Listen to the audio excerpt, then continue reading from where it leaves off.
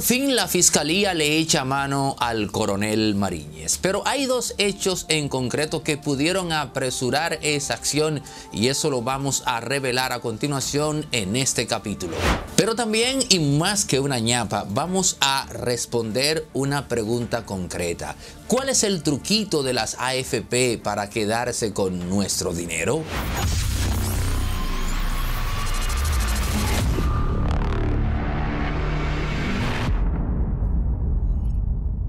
Este fin de semana todo el equipo de Impolíticamente Correcto se va de viaje turismo interno a una playa de República Dominicana que aún estamos, eh, digamos, tratando de elegir, pero de que nos vamos, nos vamos y lo haremos a través de Viaja Tours. Tú también, si tienes, eh, digamos, ahora que se está abriendo el país y el resto del mundo, como ese apetito de darte ese deseo que quedó, digamos, inconcluso justo antes de la crisis sanitaria, puedes hacerlo a través de Viaja Tours. Contáctalos. Son expertos en decirte, o más bien, cómo hacer que tú la pases bien cuando te vas fuera del país por un asunto de turismo o hacerlo también de manera interna. Viaja Tours dejó los teléfonos en pantalla ahora mismo también sus contactos en redes sociales porque amén del tema del turismo externo o interno hay otras tantas cosas que Viaja Tours puede hacer por ti para que tú la pases muy bien.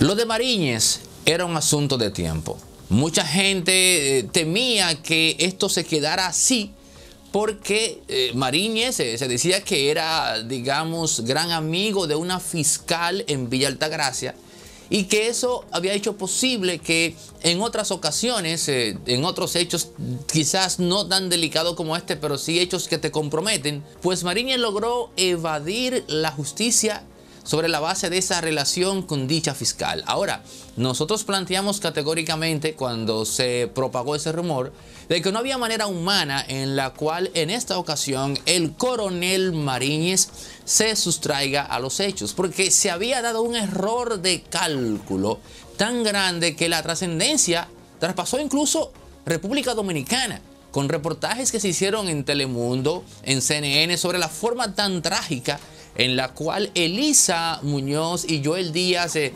jóvenes, eh, una pareja de recién casados evangélicos, pues vieron sus vidas comprometidas en Villa Altagracia. No había forma porque tratar de salvar a Mariñez en esta ocasión significaba que esa fiscal tenía que arriesgar su pellejo. Tenía que darlo todo y aquello hubiese sido algo contra natura. Yo te ayudo a ti, tú eres mi amigo, siempre y cuando yo no sienta que mi estabilidad social e incluso mi integridad física y mi reputación no se vean comprometidas. Pero en este caso, todo aquello estaba comprometido. La parte física, porque es posible que del otro lado, uno no lo sabe, alguien queriendo buscar venganza, pues ya usted sabe quizás queriendo disponer de la justicia en sus manos. Pero en el aspecto de la reputación, nada más fácil hoy día, dado el fenómeno de la hiperconectividad, que propagar un hecho para aniquilar de manera instantánea y en tiempo real la reputación de alguien. Es decir, que esa fiscal, en dado caso que así fuese, no tenía más remedio que echar hacia adelante con el caso y Mariñez lo sabía. Hay un caso puntual del pasado reciente que compromete a Mariñez y que también trascendió las fronteras de República Dominicana con un joven de unos treinta y pico de años que acusó al coronel Mariñez de haber también despachado lamentablemente a su hermano al otro mundo. Hizo unas cuantas manifestaciones pacíficas en Villa Altagracia exigiendo justicia. Lo único que recibió a cambio, según cuenta él, desde Francia asilado, a donde huyó para salvar su vida, dice que Mariñez le envió un cabo a darle el mensaje de que si él seguía fastidiando con eso, el próximo en seguir a su hermano iba a ser él. Ante lo cual, este joven eh, de nombre Alberto Carmona, y su hermano, por cierto, eh, era Ramón Carmona, el nombre, el apellido Carmona me suena por el de un camarógrafo dominicano muy famoso con el cual Alvarito Arbelo solía relajar mucho en la Z101. Pero bueno, entonces este joven Alberto se asila en Francia y allí da a conocer el caso de Mariñez. Oigan señores, o sea, el caso de Mariñez era conocido ya fuera de República Dominicana en Francia, en una corte que tramitaba el tema de los derechos humanos, en donde Alberto Carmona fue a asilarse, ¿no? Procurando proteger su integridad física. No duden ustedes que luego de que explotase este nuevo caso, desde Francia se haya dado algún tipo de comunicación con las autoridades dominicanas y que esto a su vez sirviese de presión para apresurar el apresamiento de Mariñez, aunque ojo, ojo con algo, este apresamiento sería solamente una medida de coerción mientras se da el proceso de juicio, es decir, que aún no se puede cantar justicia, o más bien no se puede cantar victoria en aras de entender que al final del camino se conseguirá justicia, porque estamos apenas iniciando con esto, con una medida de coerción, porque la fiscal de Villa Altagracia, Fátima Sánchez, dice que ha encontrado indicios que involucran directamente al coronel Mariñez con la tragedia de Villa Altagracia. Pero esto, oigan, pone de manifiesto que la versión de la pasola no es cierta. No es que nosotros lo hayamos creído, no, no, no, sino que ahora con el apresamiento de Mariñez y con lo que dice la fiscal, pues ya esa versión se cae de manera definitiva. Y esto es lamentable para el actual director de la policía, ¿no?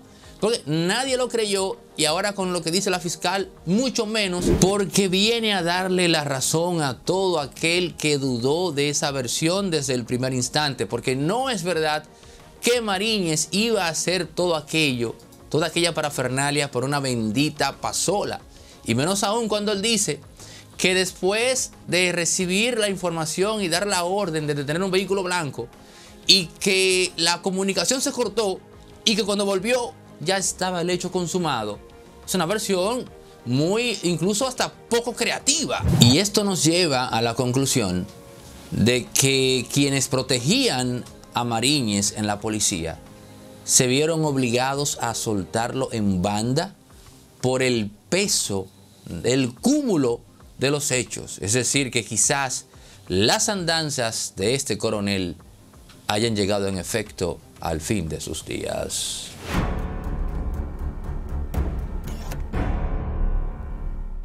Ustedes sabrán, el aroma, la textura, el sabor de mi café está siempre presente desde que lo probamos la primera vez. Miren esta taza hasta el fondo, queda un chin ahí todavía.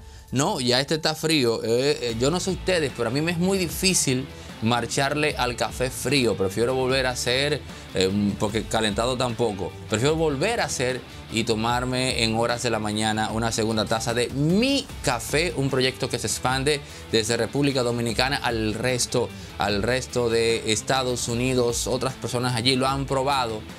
Y quiero que tú también agotes esta experiencia. Llama o textea al número que está en pantalla ahora mismo para que de la forma más grata te hagan conocer eh, mi café. Su sabor en cuatro presentaciones y la normal está avellana, caramelo, vainilla y chocolate.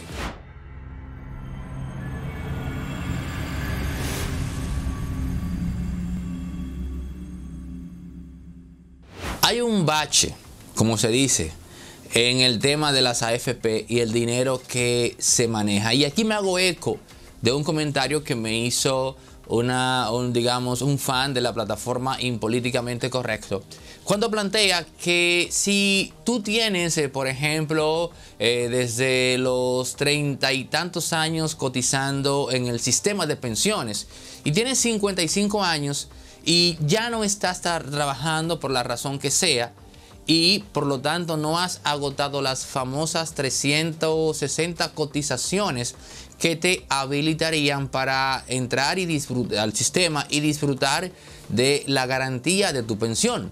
Pero el detalle está en que si tú dispones de una gran cantidad de dinero, quizás un monto pírrico por amén, porque al final del día es tuyo, tú no puedes disponer de ese dinero. Es decir, el sistema te dice, tú no estás trabajando, no estás cotizando, tienes un dinero acumulado porque duraste trabajando, eh, imaginemos algunos 7 años, pero no llegaste a completar las 360 cuotas pagadas en el sistema. Por lo tanto, tu dinero no se va a desembolsar o no, o no vas más bien a disfrutar de tu pensión cuando llegues a los 60 y tantos de años, que es, la, es por encima de los 60. Si no me equivoco, es 65 años, ¿no? Que a partir de esa edad tú comienzas a disfrutar de una pensión. Pero si tú no cotizaste o no pagaste, no se te debitaron concretamente 360 cuotas, tú no estás habilitado para recibir esa pensión. Pero entonces te deberían entregar el dinero que tienes acumulado, cosa que no se hace. Y eso resulta algo muy desagradable. En lo particular yo catalogo eso como un robo.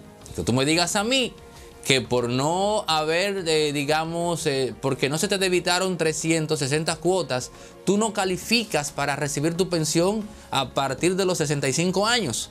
Pero entonces el dinero que tengo acumulado, no, deben dármelo. Pero eso no se hace, no me dan mi dinero hacia atrás. Y ahí hay una gran falla del sistema.